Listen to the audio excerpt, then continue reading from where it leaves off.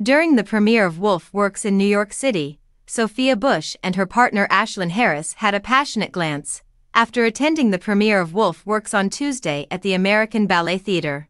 Sophia Bush and her lover Ashlyn Harris made a splashy entrance at the venue. While walking the red carpet at Cannes Lions last week, the actress, who is 41 years old, and the former soccer star, who is 38 years old, seemed to be in a serious relationship. During the event, the former cast member of One Tree Hill stole the show by wearing a red dress that was completely monochromatic. A sparkly wrap skirt that was trimmed a few inches below her knees was paired with a sweater that had a v-neck at the top, the outfit that Ashlyn wore, which consisted of a blue pantsuit with white accents, was quite fashionable. A pair of red shoes with pointy, open toes and cross straps was the perfect accessory for Sophia to complete her vivid getup, the footwear that was on the cutting edge of fashion revealed her black pedicure that was flawless and shiny, her jet black hair was done in loose, bouncy curls that spilled over her chest and was separated in the center.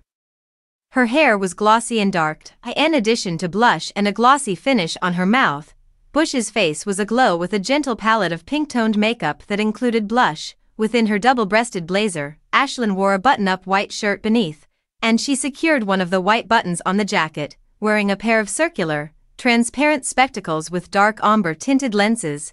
The elite athlete exuded an aura of cool and fashionability. Her textured, short blonde hair was loose and softly disheveled.